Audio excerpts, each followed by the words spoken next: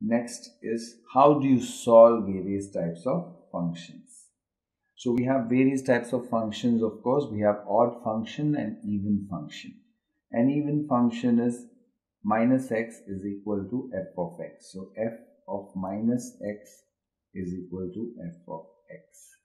Say for example uh, you have x square as a function. So even if you put x as 1, it's going to be the same as x square. If you put x as minus 1 also, it's going to be x square. So this kind of a function is called f of. Or you have say uh, cos of minus x is the same as cos of x. So this is an even function. An odd function is one in which f of minus x is minus f of x. For example, sine of minus x will be minus sine x. In simple words, an odd function would become the opposite of the function when the value is just negated, when the value of x is opposite. Here, when the value of x is made opposite, opposite of what you're substituting, when the domain value becomes opposite, the function still remains the same.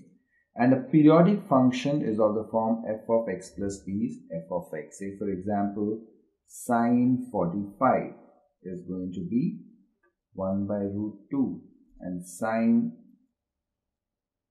90 plus 45 that is sine 135 is also 1 by root 2 so if you look at it sine x is a periodic function. F of x if we take it because at regular interval as in this case h being 45 uh, at regular intervals of 90, you find that the sine value is going to repeat itself. So x sine of x, that is sine 45 is equal to sine of x plus h.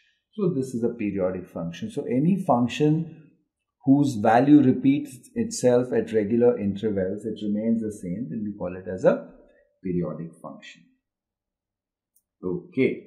Now we go back to the same kind of simple concept given the function f of x is x square minus 7 what is f of root 7 so f of root 7 is bound to be root 7 square minus 7 which is 7 minus 7 that is 0 and it is absolutely without doubt it is 0 Okay, now see here, we have f of x is 3 raised to x plus 1 upon 3 raised to x minus 1, then f of x is what type of a function? How do you assess? We just have to substitute instead of x minus x. So let us see, suppose it is f of minus x. f of minus x would mean you have to replace x with minus x. So it will become 3 raised to minus x plus 1 upon 3 raised to minus x minus 1 which would turn out to be 1 upon 3 raised to x plus 1 divided by 1 upon 3 raised to x minus 1 which will turn out to be 1 plus 3 raised to x upon 3 raised to x upon 1 minus 3 raised to x upon 3 raised to x. This of course gets cancelled. This will be actually 3 raised to x plus 1 upon 1 minus 3 raised to x can be written as minus of 3 raised to x minus 1 which is the same as minus of f of x. So in short, we see that when we replace x with minus x, it becomes minus f of x. That means the function becomes the, the opposite of it. So minus 3. That means it is not an even function. It is an odd function because the value of f of minus x becomes minus f of x which is what we just substituted replaced x with minus x and see what we get. So it's an odd function.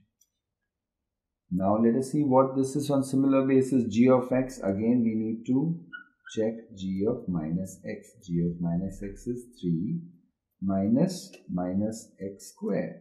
We replace x with minus x which is the same as 3 minus x square which is the same as g of x.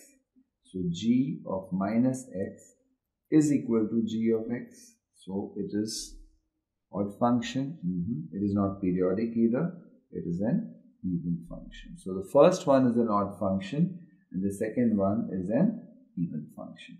So this is how we can classify functions that whenever you need to decide whether it's an odd function or an even function, replace x with minus x, simplify the function If the function remains exactly the same, it is an even function. If the function becomes the negative of it or the opposite of the original function, it is an odd function. So what do we have here? We have a function f of x which would be q into x minus p divided by q minus p plus p into x minus q divided by p minus q. Find the value of f of p plus f of q.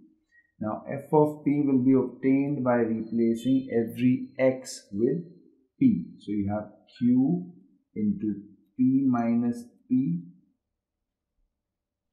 upon q minus p plus p into p minus q upon p minus q. So this gets cancelled. This of course becomes 0. So it becomes q into 0 which is 0 plus p which will turn out to be p.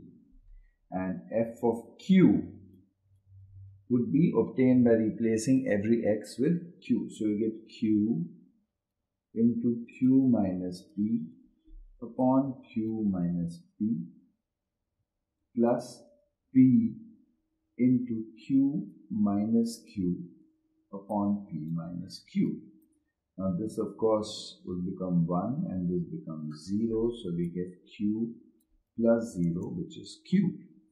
Hence f of p plus f of q is nothing but p plus q. So the correct option among these is p plus q. You just have to replace x with the corresponding value of that particular variable, right? We have it p plus q. Okay, now we have a function that is f of x which is log x. So f of p, f of x is log x where x is greater than 0 then f of p plus f of q plus f of r. Now f of p plus f of q plus f of r is nothing but log p plus log q plus log r.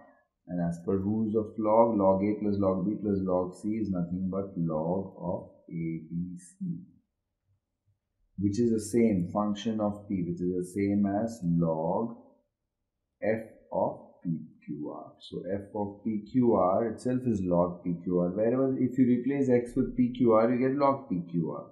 So among these, it is this that is the answer. So function of the same function in the domain range value becomes pqr is equal to log pqr. Yes, we are right there. Okay.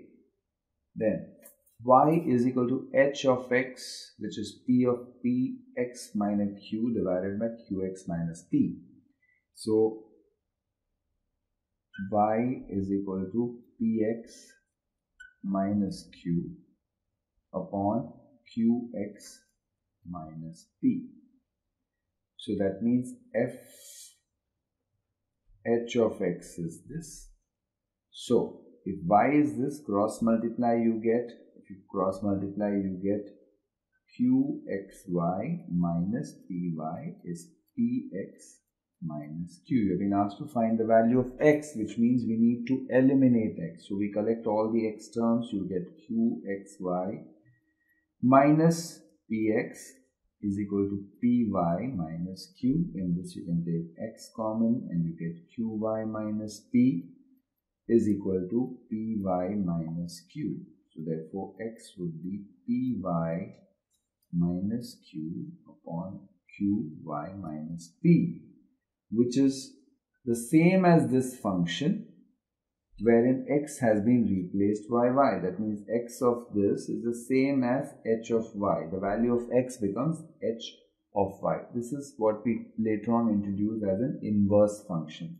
So you get py minus q upon qy minus p. If this y had been replaced by x, you would have got px minus q upon qx minus p, which is h of x. So the value of x turns out to be py minus q is equal to qy minus p. It is nothing but the same function when the variable becomes y. If we compare it with this, so which is the same as h of y. Right? So among these, It's h of y that is the right answer. Yes, we do get that. F of x is x square minus x. Find f of h plus 1 which would mean you replace x with h plus 1 which will be h plus 1 the whole square minus of h plus 1 which can be written as h square plus 2h plus 1 minus h minus 1 and hence sorry minus h minus 1 so 1 and minus h gets cancelled and you get h square plus h. This is h squared plus h which is not the same as f of x so definitely not this. We'll have to check what is f of minus h.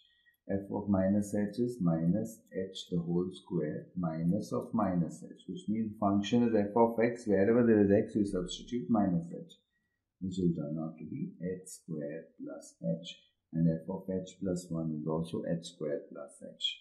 So that means f of h plus 1 will be equal to f of minus h.